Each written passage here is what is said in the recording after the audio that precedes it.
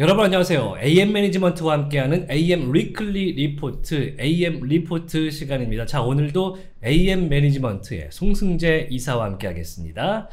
어서 오십시오. 네, 반갑습니다. 네, 송승재 이사와는 거의 3주 만에 뵙는 것 같은데 추석 연휴에서 한글날 연휴까지 네. 이렇게 해서 뭐 저도 좀 쉬었습니다만 어떻게 지내셨습니까?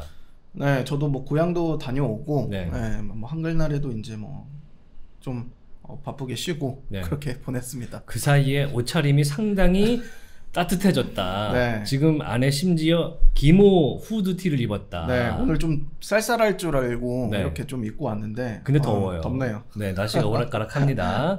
자, 그런데 이제 날씨만큼 오락가락한 것이 지난주에 이제 비트코인인데 네, 상승과 하락을 반복을 하면서 뭐 결과적으로는 조금 올랐습니다만 어, 높은 변동성도 보였고 네. 하지만 아주 만족스럽진 않은 퍼포먼스였다. 네. 어떻게 보셨습니까? 어, 저도 마찬가지고요. 사실 이 비트코인이 뭐 추석 연휴부터 해가지고 지금 현재까지도 어, 상승세를 유지는 해주고는 있어요. 예. 어, 뭐 그동안에 이제 좀 하락 가능성도 보기는 했지만 네. 그에 대해서 잘 방어는 해주고 있다. 다만 이제 주요 저항 자리도 아직까지 돌파는 나오지 못하고 있어서 네. 뭐 지금 좀 약간 소강 상태다 그렇게 볼 수 있을 것 같습니다. 네. 하지만 또 비트코인이 소강 상태였지만 알트코인보다는 이제 전체적으로는 한 1, 2주간 나은 네. 퍼포먼스를 보이면서 거버넌스도 이제 시총 대비해서 50%를 어, 넘은 상황입니다. 그래서 잠시 후에 이제 차트를 보고 얘기를 좀 해 보도록 하겠습니다. 자, 현재 시장 진단으로 넘어갈 텐데요. 자, 매크로 이슈부터 보겠습니다. 아주 큰 이슈가 하나 네. 어, 생겨 버렸습니다. 지정학적 위기인데요. 자, 올해가 이스라엘이 건국된 지 75년 되는 해라고 합니다. 팔레스타인과의 분쟁이 75년 만에 사실상 전쟁 모드로 들어가는 분위기. 자, 많은 분들이 희생되고 다치고 네. 있기 때문에 더 많은 희생자가 안 나왔으면 하는 바람도 있는데 일단 시장은 어떻게 반응을 했습니까? 어 우선 그 당시 그 이슈가 발생을 하고 이제 시장에 소식이 확산됐을 때는 예. 당시는 약간의 조금 하락 변동성을 보였던 걸로 저는 기억을 하고 있거든요. 예. 네. 이게 한국 시간으로는 주말 사이에 일어난 일이어가지고 한글날 전날부터 시작됐죠. 예. 그래가지고 어, 하락 변동성은 잠시 좀 보이기는 했으나 예. 사실 뭐 시장의 방향성을 정할 정도까지의 영향은 아직까지는 미치지 않고 있다. 음. 다만 이제 뭐 이스라엘 이제 전쟁으로 인해서 약간의 좀 유가 변동성이 있을 수는 있잖아요. 예. 예, 그렇기 때문에 이제 뭐 어, 인플레이션 같은 문제, 뭐 그거에 대한 우려 이런 게 추가적으로 뭐 장기적으로 전망이 좋지 않게 나오면 또 이제 이후에 또 영향을 또 미칠 수 있기 때문에 계속해서 좀 관심을 가질 필요는 있어 보입니다. 네. 사실은 아직은 이제 이스라엘과 팔레스타인의 이 분쟁이 심각해진 것은 맞지만 공식적으로 확전되는 분위기까지는 번지지 않았기 때문에 네, 거기서 이제 중동 전쟁이라고 부를 만한 사태가 일어난다면 국제 유가가 지금도 높은데 네, 네, 조금 더 높아질 수 있기 때문에 물가에 반영이 될 수 있다. 그래서 이제 미국의 금리 정책에도 상당한 영향을 줄 수 있는 네. 그런 요소가 되겠다. 이런 말씀이고요. 네, 그런데 또 나스닥하고 이제 S&P 500 같은 경우에는 올랐어요. 나, 네. 어, 금 선물은 좀 횡보를 했지만 이 부분은 시장에서는 어떻게 보고 있다는 평가입니까? 어, 일단은 사실 이번에 올랐던 거는 좀 그게 컸던 것 같아요. 지난주 고용 보고서가 굉장히 좀 긍정적으로 나온 부분에 있어서 네. 어, 고용 지표가 이제 강세를 보였고 대신에 이제 임금 상승률이 조금 감소를 했거든요. 예. 그런 부분에 대해서 일부는 이제 뭐 골디락스의 기대를 거는 그런 전망이 좀 있더라고요. 따뜻하고 네. 평화로운 그런 상태. 네. 이 지난주 고용 보고서가 발표한 직후에는 약간의 하락 변동성을 처음에 보였긴 했는데 네. 그것에 대한 이제 시장 해석을 조금 이제 긍정적으로 나타나면서 결국에는 다시 상승을 하는 음. 어, 그런 변동성이 좀 나왔습니다. 사실 고용 지표가 또 너무 좋게 나와 버리면 네. 이제 미국 연준 입장에서는 그래도 아직은 뭐 물가가 높아도 괜찮겠다라는 판단을 할 수도 있다. 네. good is bad, bad is good 이런 네. 식으로 해석을 하는 요즘이기 때문에 네. 조금 불안감이 조성이 됐었는데 그래도 이제 나스닥과 S&P 500이 그런 재료를 받아서 소화를 했던 네. 어, 그런 시간이었다. 심지어 뭐 이스라엘과 팔레스타인 분쟁에도 나스닥 올랐어요. 네. 어, 시장이 요새 어떤 분위기로 가는지 상당히 좀 예민하지만 잘 알 수가 없는 네. 어, 그런 상황이기도 합니다. 이번 주에는 뭐 소비자 물가지 CPI 나오고요. 실적 발표까지 시작이 되기 때문에 어, 그거는 이제 증권 채널들을 통해서 알아보시면 더욱더 좋지 않을까 이렇게 생각이 되고 crypto 얘기를 할 수밖에 없어요. 네. 뭐 dominance 앞서서 말씀을 드렸지만 50%, 49% 계속 그러고는 있는데 네. 물론 최근에 몇 달간은 뭐 그런 수준을 유지했습니다만 연초 대비해서는 거의 10% 이상 어, 네. 어, 그런 상승 네. 어, 치수거든요, 수치거든요. 그런 이유는 또 뭐라고 보십니까? 어떤 영향이 있습니까? 이럴 경우에는. 어, 사실 이런 거시적인 이유보다는 사실 시장 자체의 그 약간 좀 심리적인 문제지 않을까 저는 그렇게 좀 투심의 생각을 하- 문제다. 네, 그렇게 생각을 하고 있는 게 사실 지금 비트코인이 어, 그동안 이제 오랫동안은 상승은 해 왔었지만 사실 이제 여기서 다시 꺾이냐 아니면 이제 다시 재정비를 하고 다시 올라가냐의 문제에 선 그런 기로의 자리잖아요. 예. 그런 자리에서 사실 방향성에 대한 애매한 부분이 있다 보니까 음. 어, 많은 사람들이 지금 현재의 방향성에 대해서 찬반이 좀 많이 갈리고 있습니다. 예. 다시 올라갈 거다 아니면 내려갈 거다에 음. 대한 그만큼 중요한 자리에 있기 때문에 이런 자리에서 사실 알트코인들이 맘 놓고 상승하기가 조금 어려워요. 음. 물론 비트코인의 약간의 반등은 나왔을 때 알트코인들이 한 번씩 퍼포먼스를 보여주기는 하지만 예. 다시 비트코인이 조금이라도 불안정한 모습이 보이기라도 한다면 그 상승분의 이상으로 다시 뱉어내게 되잖아요. 예, 예. 네. 어, 저번에도 말씀드렸지만 이러한 부분들을 봤을 때 지금 오히려 이 시장이 알트코인들을 매매하는 것보다는 비트코인 위주의 비중을 조금 더 높이는 게 리스크 관리하는 편에서 좋지 않을까라는 음. 그런 아- 어느 정도 심리가 있을 것 같아서 비트코인에 대한 비중을 높이게 되면 그만큼 이제 비트코인 시총이 올라가겠죠. 음. 네, 그, 그래서 이제 비- dominance가 그만큼 상승을 하고 있다. 이렇게 이제 볼 수도 있는 거고요. 네. 물론 뭐 코인 시장 자체가 위험 자산으로 분류되긴 하지만 그 안에서도 네. 어, 충분히 매크로 시장의 영역을 반영하는 네. 그 나름의 안전 자산이 또 비트코인으로 그렇죠. 생각되기 네, 때문에 시장에서 지금 dominance가 올라가고 있다 이렇게 네. 볼 수가 있을 것 같아요. 그러면은 바로 자 AM 리포트 핵심 코너인 차트 보기로 넘어가겠습니다.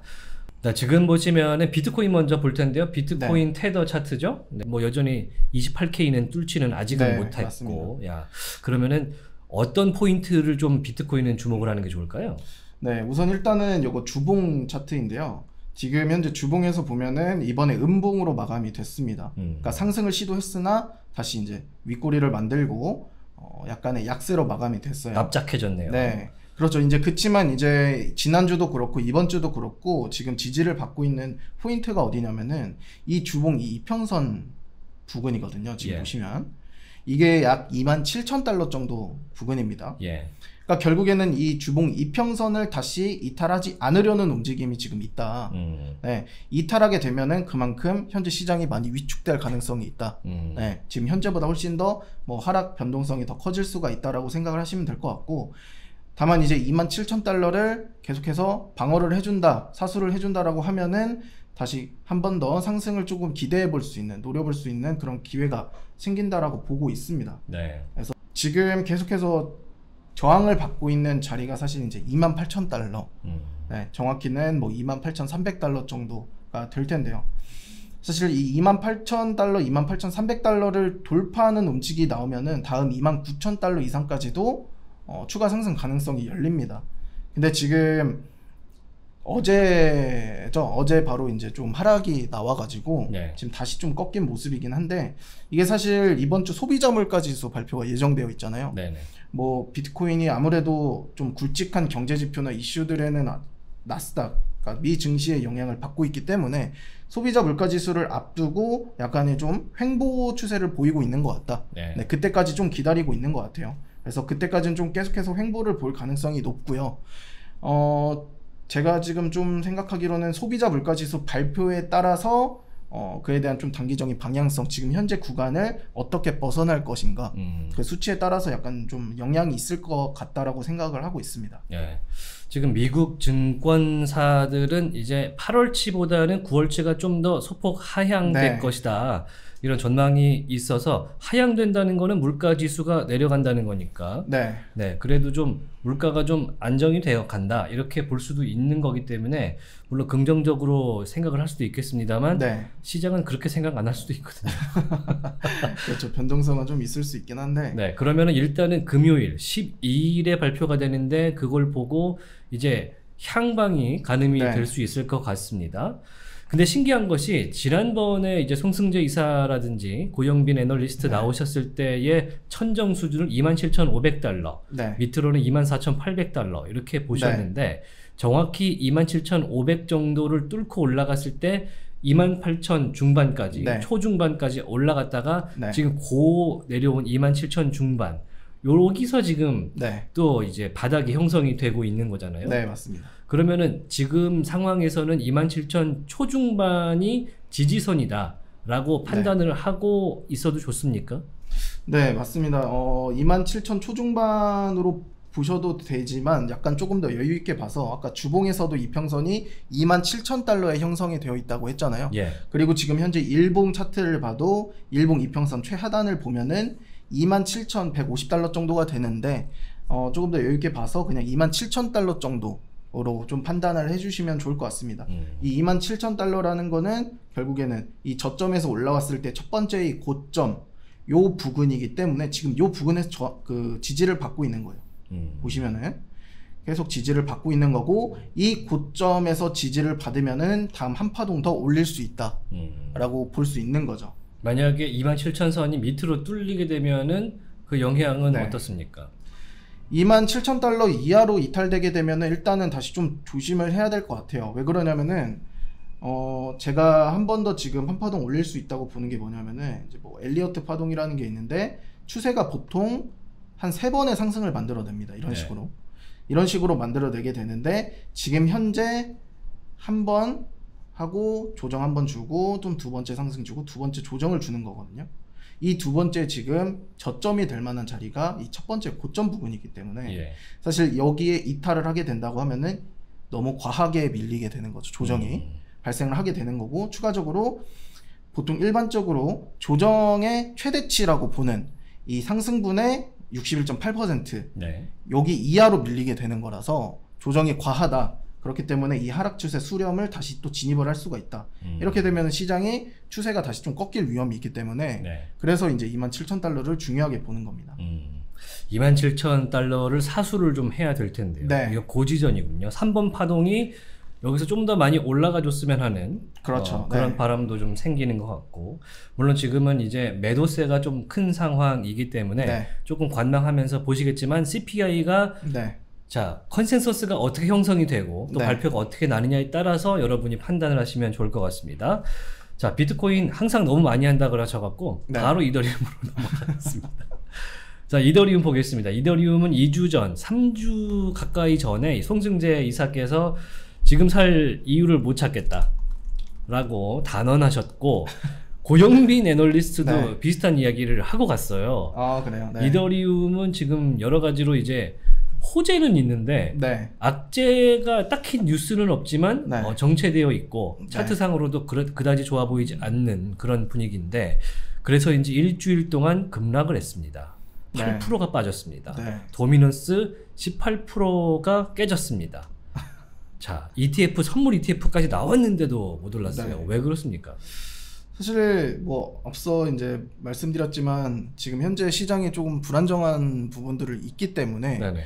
그런 부분들에 있어서 아무래도 상대적으로 좀 알트코인 도미넌스가 떨어지고요. 음. 그에 이제 알트코인의 제- 대장격이라고 볼 수 있는 이더리움 도미넌스도 그거에 대해서 뭐 딱 피해가지는 못한다. 네. 네, 그래서 이제 알트코인 매매보다는 비트코인 위주로 그냥 시장을 대응하는 게 낫지 않겠냐. 약간 이런 심리가 좀 있는 것 같습니다. 네. 그래서 지금 이더리움 같은 경우도 일단 전체적인 이런 장기적인 추세를 봤을 때는 사실 지금 현재 같은 자리가 어 뭐 좀 지켜볼 만한 자리는 맞아요. 그러니까 뭐 살 자리는 아니지만 계속해서 관심을 둘 자리는 맞습니다. 왜 그러냐면은 지금 현재 봤을 때 이 하락 추세선이 하나 이렇게 있죠. 네.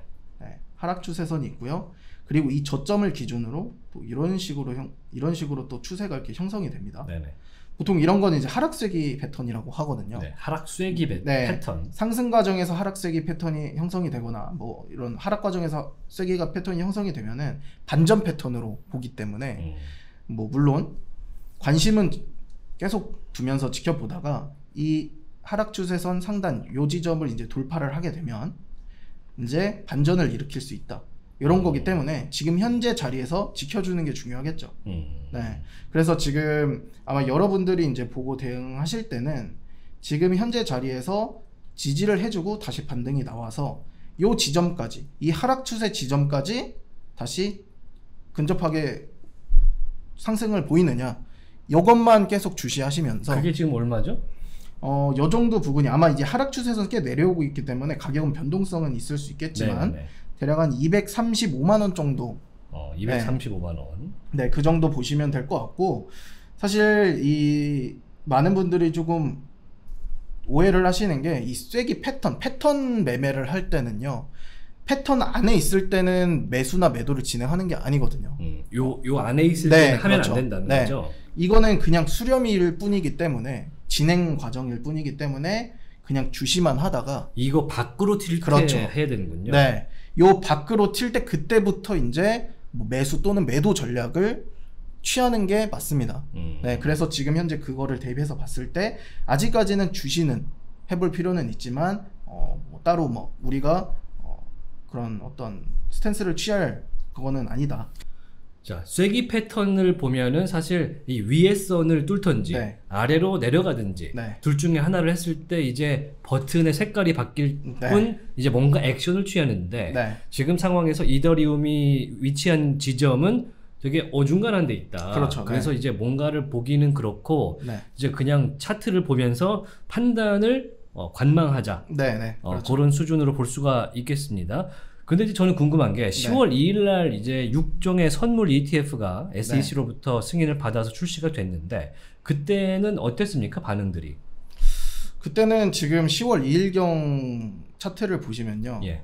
확대를 해 보면 하락이 크게 나왔습니다. 하락이 크게 나왔군요. 네, 그러니까 매도 물량이 굉장히 크게 나왔어요. 어. 그러니까 아마 이 호재라는 거는 어, 딱 발표가 됐을 땐 이미 다 모두가 아는 거잖아요. 음. 그럼 그게 호재가 될 수 없겠죠. 일반적으로는. 음, 선반영, 킹반영 됐다. 그렇죠. 선반영이 될 수도 있고, 뭐 물론 이제 뭐 어, 비트코인 현물 ETF 같은 경우는 워낙에 큰 호재이기 때문에 그에 대해서 이제 뭐 매수 심리가 추가적으로 발생을 할 수 있겠지만, 뭐 이더리움 선물 ETF까지는 그렇게 뭐 시장에 큰 호재라고 생각은 안 하거든요. 네. 네, 그렇기 때문에 뭐 그거에 대해 이미 선반영이 나왔던 움직임일 수도 있고 그에 대해서 음. 매도 물량이 나왔다. 그리고 이후에 지금 계속해서 지속적으로 하락을 보이고 있기 때문에 지금 사실 비트코인 위치도 그렇고 현재 뭐 알트코인들이 크게 막 상승을 보일 만한 음. 시점은 아니기 때문에 어 그냥 일단은 조금 계속 지켜보는 게 좋을 것 같다. 음. 어 그렇게 보고 있습니다. 이제 선물 ETF 같은 경우는 일종의 이제 투자 계약으로서 제약이 상당히 많지 않습니까? 네. 그런 옵션들이 붙는데 수수료까지 내야 되고요. 네, 그러다 보니까 일반인 투자자들이 접근하기가 굉장히 좀 어렵다. 그렇죠. 네. 그래서 시장에서 이거를 정말 호재성으로 음. 판단하고 유입이 많이 되기에는 좀 한계가 네. 있다. 어, 다음은 리플 보겠습니다. XRP. 자, XRP는 어, 상당히 궁금해하시는 분들이 워낙 많기 때문에 네. 또 저희가 놓칠 수가 없습니다. XRP는 근데 또 호재성 뉴스가 있었어요. 네, 그 SEC가 이제 미국 법원에다가 이제 중간 항소를 요청을 했었는데 네, 그거를 또 법원에서 이제 응 아니야 이러면서 이제 잘라냈단 말이에요. 그러면은 리플 측의 말 을 측을 좀 더 좋게 봤다라고 판단하시는 분들이 있는 것 같아요. 그런데도 급락이 나왔단 말이에요. 네, 그렇죠. 그러니까 사실 이전 과거에 봤을 때 요때 당시죠. 네. 어, 7월 중순이죠. 7월 10일, 네. 13일. 이때가 아마 그 SEC 처음 이제 어, 승소 그런 이제 관련 이슈가 나왔을 텐데 이때만큼의 지금 추세는 나오지는 못하고 있죠. 그냥 없다고 봐도 무방한 그렇죠. 수준인데요, 지금. 네, 그냥 평범한 수준이고 사실 이때 워낙에 그런 이슈가 이미 다 밝혀진 뒤였기 때문에 예. 그 뒤에 추가적으로 나오는 거에 있어서는 그렇게 큰 영향을 받지는 못한다. 음. 네. 그러니까 지금 현재 저항을 받고 있는 자리가 결국에는 여기에서의 고점 그리고 여대 그리고 지금 계속해서 저항을 받고 있는 거잖아요. 네. 이 트렌드에서 계속 또 지금 현재도 정을 받고 있습니다. 음. 그렇기 때문에 결국 이 추세선을 돌파를 해주지를 못하면은 계속해서 위축된 움직임을 보일 가능성이 높아요. 그 저항선이 일관되게 지금 조금씩 내려오면서 네. 네, 일자를 그리고 있군요. 네네. 그렇기 때문에 지금 최소 적어도 직전 고점이죠. 한 750원 정도. 네, 네. 좀 더 여유있게 750원 정도 선은 돌파가 나와줘야 어, 오, 얘가 다시 좀 반등을 진행하려나 정도의 관심은 둘 수 있을 것 같습니다. 네. 네, 뭐 지금 뭐 물론 이제 단타나 단기적인 매매를 하는 데 있어서는 물론 지금 현재 구간에서도 뭐 전략을 취할 수 있는 그런 방법들이 있겠지만 사실 뭐 지금 저희 콘텐츠 같은 경우는 그런 단기적인 trading을 말하는 게 아니고 좀 장기적인 view, 전체적인 추세적인 어, 전환의 가능성이 있는 거를 보고 있는 거기 때문에 뭐 그렇게 성급하게 볼 필요는 없다. 음. 사실 그러니까 막 많은 투자자들이 굉장히 좀 놓치고 있는 부분이 뭐냐면 지금 현 자리에서 만약에 이제 반등이 나온다라고 했을 때 네. 여기서 잡으면 이만큼 먹지 않느냐 이게 이미 반등이 나오고 나면 이만큼 이미 반등이 나오고 나면 별로 못 먹지 않느냐라고 하는데 사실 그 차이가 그렇게 크지는 않아요. 음. 네. 여기서 만약에 돌파를 해주고 여기서 만약에 잡게 돼도 고점 기준으로 친다면은 50% 정도나 음. 됩니다. 네. 그러니까 결국에는 1, 20% 차이 정도밖에 안 돼요. 음. 그래서 막 trading을 그렇게까지 막 성급하게 할 필요는 없다. 그렇게 좀 말씀을 드리고 싶고요. 뭐 본인이 이제 막 전업 투자자, 뭐 전문 trader가 아닌 이상은 좀 여유 있게 시장을 좀 대하는 게 지금 현 상황에선 좋지 않나 그렇게 보고 있습니다. 네. 뭐 사실 리플 하면은 예전부터 천하제일 단타 대회 네. 주 종목이긴 했는데 네. 지금 시장 자체가 그런 걸 도모해서 수익을 극대화한다. 그게 좀 어렵고 네. 그렇게 보는 것이 어, 바람직하지는 않다고 저는 생각을 하기 때문에 그렇죠. 저희는 좀 장기적으로 보도록 네. 하겠습니다. 자, 리플까지 봤는데 저번에는 저번 시간에는 이제 솔라나와 네. 폴리곤까지 봤었거든요. 네. 솔라나 추석 때 이제 20% 이상 오르면서 네. 어, 이 친구가 왜 이러지? 어, 조금 어, 신기한 그런 모습이었거든요. 지금 또 빠져 있네요. 네네. 지금 솔라나 같은 경우도 보면은 전체적인 추세는 추세가 완전히 바닥을 기고 있죠. 네, 바닥을 기고 있습니다. 이 FTX 사태 이후로 굉장히 좀 위축된 모습을 보이고 있다가 네. 다시 이제 올해 올해 들어서 이제 추세를 약간 좀 재정비하는 바닥을 다지고 있는 그런 모습은 보이고 있기는 한데요. 네. 이번에 단기적으로 반등이 나왔을 때 일봉 이평선을 돌파해줬기 때문에 어, 이러한 움직임은 어, 긍정적으로 볼 수는 있습니다. 음. 다만 이제 여기서 다시 한 번 더 급락이 나왔기 때문에 결국 지금 자리가 중요한 거는 일봉 이평선 지지를 받고 다시 상승 추세를 만드느냐 음. 이거를 봐야 되거든요. 이평선을 만나기 전에 다시 반등할 것이냐. 네. 뭐 만나도 이평선 위에서 그냥 지지 받고 다시 오르는 모습만 보여주면 돼요. 딛고 튀면 되니까. 그렇죠. 네. 그러니까 이평선 이하로 다시 빠지지만 않으면 됩니다. 네. 그래서 많은 분들이 이제 솔라나를 뭐 만약에 저점에서 본인은 매수를 했다. 아니면은 뭐 이미 진작에 홀딩을 하고 있다라고 했을 때 지금 솔라나 같은 경우는 그 요 부분 포인트를 굉장히 좀 중요하게 봐야 됩니다. 음. 어, 일봉 이평선에 안착하는 움직임을 보이면은 다시 또 꾸준히 또 상승하는 움직임이 만들어질 수 있겠죠. 네. 네, 그거에 대해서 지금 솔라나 같은 경우도 이런 하락 추세선이 하나 형성이 됐기 때문에 지지를 받고 튀어 올랐을 때 이 추세선을 돌파를 하는 움직임이 나오느냐, 음. 네, 요것만 보시면 좋을 것 같습니다. 네. 네, 추세선과 이평선, 이평선을 스프링보드 삼아서 밟고 튀어 오를 때 네, 이제 위에 있는 천장을 뚫을 수 있느냐. 네, 그 타이밍을 보는 시간이 생각보다 멀지는 않았군요. 네, 뭐 계속 단기적으로 좀 주시는 하면 될 것 같아요. 뭐, 그러니까 직전 고점이라고 하면은 34,400원 정도가 되거든요. 네. 네, 요 가격대를 다시 강하게 돌파를 한다면 어, 나쁘지 않을 것 같습니다. 추세가. 음. 네, 솔라나는 이제 막대한 어, 상승 이후에 좀 빠지긴 했습니다만 아, 물론 이제 어, 되게 무겁다고 하기도 좀 그렇고 네. 가격대 자체가 아주 네. 싸다고 할 수는 없습니다만 어, 좀 잘 될 가능성이 어, 지금은 보이는 편인데 기다려야 된다. 네, 계속 좀 지켜보다가 34,400원 정도 돌파가 만약에 나오게 되면은 음. 그때 이제 충분히 좀 보셔도 좋을 것 같아요. 네. 네, 저도 솔라나를 잘 모르는데 네. 한번 관심 있게 공부를 해보도록 네. 하겠습니다. 그럼 그 다음은 빠르게 잠깐 볼 코인은 이제 매틱 네. 폴리곤 볼 텐데 이거 왜 하냐면 고영빈 애널리스트가 네. 금주에 괜찮아 보이는 코인으로 꼽으셔갖고 어, 네. 한번 체크를 하고 넘어가야 될 것 같아요. 네.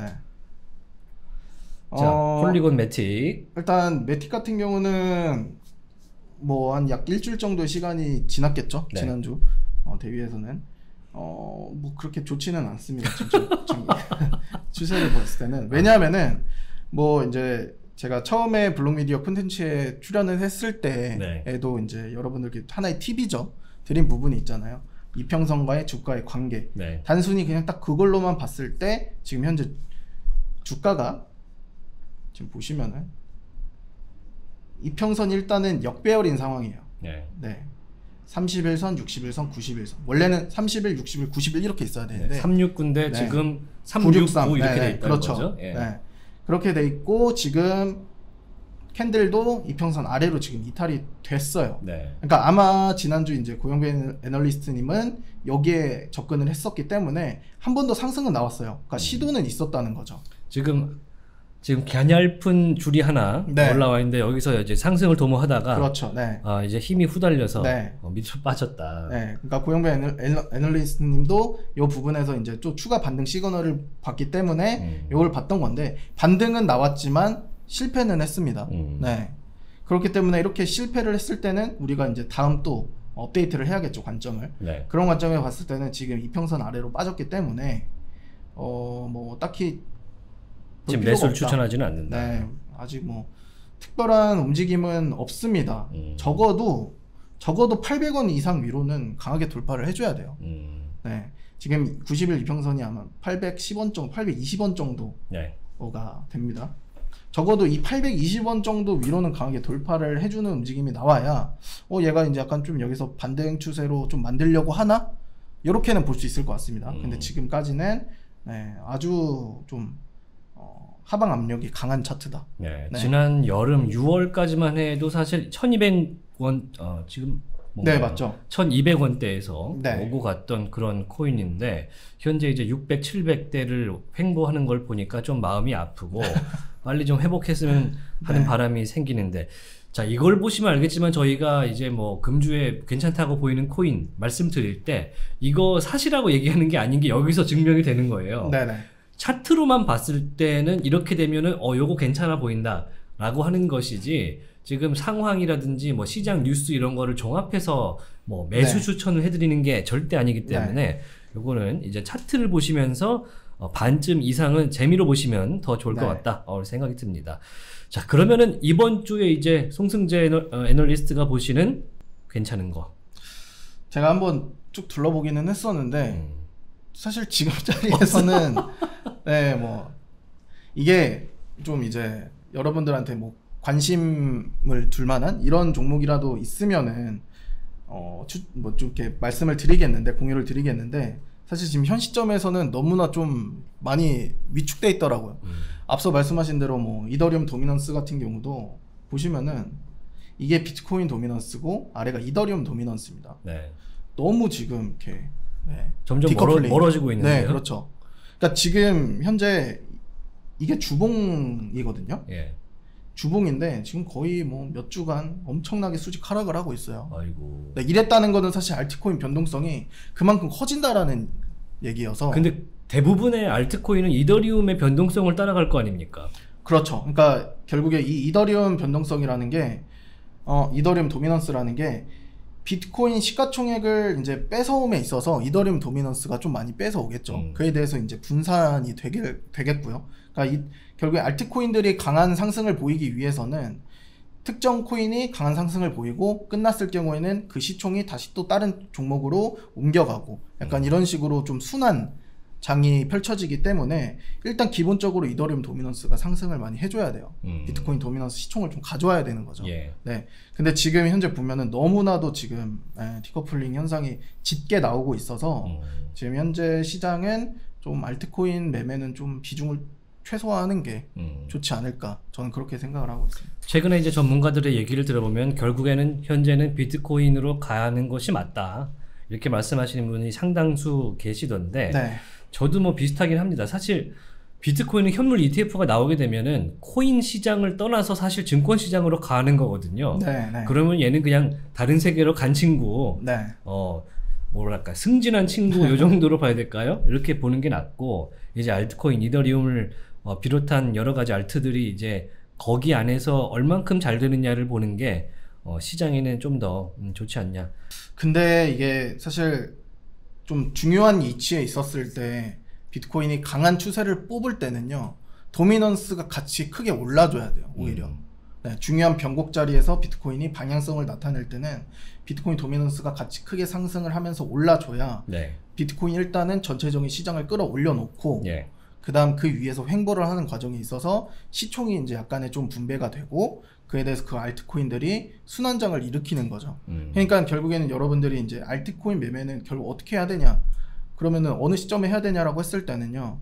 일단은 전체적으로 이더리움 도미넌스가 조금 상승을 하는 거- 적어도 한 19% 20% 정도 수준까지 올라왔을 때 예. 그때부터 알트코인을 비트코인이 안정적인 추세를 볼 때 적극적으로 매매해도 충분합니다. 음. 정말 충분해요. 그렇기 때문에 지금 현재는 약간 주의를 하시면서 19% 20% 정도 수준까지 올라오길 기다려라. 음. 네. 지금은 도미넌스가 18% 아래로 빠졌기 때문에 네. 이게 한 1, 2%만 오를 때 네. 라도 되면은 이게 좀 살만하다. 그렇죠. 네. 네. 그렇게 말씀을 한번 드려보도록 하겠습니다. 자, 뭐 또 보고 싶으신 코인 이거는 좀 체크해 보는 게 낫지 않냐라고 생각하는 게 있으세요? 아니 뭐 딱히 없어요. 없어요. 비트코인만 한 보고 계시는구나. 뭐 많은 분들이 그러실 것 같아요. 네. 뭐 시장이 지금 워낙에 어, 국제 질서가 조금 아, 복잡하게 굴러가고 네. 있고 또 이 이스라엘 팔레스타인 전쟁 어, 분쟁 때문에 네. 각국 지도자들이 여기는 지지하고 여기는 뭐 지지하지 않고 음. 파가 또 갈리고 있는 분위기라서 네. 이게 또 어떻게 돌아갈지 전혀 알 수가 없겠습니다. 또 현 시점에서 지금 사우디도 또 미국 측에다가 증산을 할, 증산을 할 예. 용의가 있다 또 이렇게 전했기 때문에 말이 또 다른 거죠. 그 따지자면. 네, 네. 그러니까 올해 연말까지는 감산을 하기로 일단은 돼 있고 예. 내년 초에 증산할 의사가 있다 이렇게 또 전했죠. 음. 그렇기 때문에 그런 부분에 또 봤을 때는 만약 증산을 하게 되면은 유가에 대한 변동성이 또 어, 낮아질 수 있기 때문에 어, 그렇게 되면 또 인플레이션에 또 좋겠죠. 음. 네. 그리고 이제 중요한 거는 유럽이 겨울에 들어가요. 아직 우크라이나 러시아 전쟁 끝난 거 아니거든요. 네, 맞죠. 겨울에 유럽은 힘듭니다. 네. 저희도 마찬가지지만 또 국제 유가에 뭐 전기료도 맞죠. 많이 올랐고 아끼면서 살아야 되는 시대가 또 도래했기 네. 때문에 어우, 지금 경제 상황이 뭐 좋지는 않습니다. 네. 자 마지막으로 아까 처음에 말씀드렸지만 이제 CPI 뭐 네. 이런 인플레이션 예상치 물가 지수 나오게 되게 되는데 네. 어떤 지금 포인트를 좀 주목하면 좋겠다고 보세요? 어, 일단은 이번 CPI에서는 헤드라인과 코어 수치가 동시에 이제 같이 좀 둔화되느냐? 음. 뭐 요거를 이제 보면 좋을 것 같고요. 특히 이제 코어 수치. 이게 연준에서 코어 수치에 대한 좀 비중을 좀 많이 높이더라고요. 음. 그래서 결국엔 이제 코어 수치가 좀 낮아져야 된다. 확실하게. 네. 네, 그렇게만 되면은 사실 뭐 지난주 임금 상승률도 낮아졌기 때문에 좀 그거에 대한 확대 효과가 나오지 않을까. 음. 어, 그렇게 보고 있습니다. 근원 물가가 잡혀야 좀 다른 방면을 도모해 볼 텐데 그래도 네. 이제 연준 입장에서는 점도표를 깠을 때 이미 상향 네, 상향의 점이 찍혀 있었기 때문에 네. 그거를 또 엄청나게 뒤집을 것 같지는 않다. 네. 어, 그래서 물가가 추세가 어떻게 되는 정도, 특히 국제 유가의 이제 변화 뭐 네. 이런 측면을 좀더 보면 좋겠다 이렇게 생각이 되는 10월 2주 차입니다. 자, AM 리포트 매주 월요일마다 저희 기사를 통해서 AM weekly 리포트 시장 분석이 나가고 있거든요. 네. 기사도 많이 봐주시고 저희 A, AM 매니지먼트 응원도 많이 해주시고 저희 채널 구독과 좋아요도 눌러주시고 여기도 채널 있다 그럽니다. 아, 네. AM 매니지먼트입니다. 네, 한번 방문해 보시는 것도 좋을 것 같습니다. 저희는 다음 주에 더욱더 알차고 어, 깊은 분석으로 돌아오도록 하겠습니다. 날씨가 추워지고 있습니다. 건강 관리 잘 하시고 다음 주에 뵙겠습니다. AM 리포트 여기서 마치겠습니다. 안녕!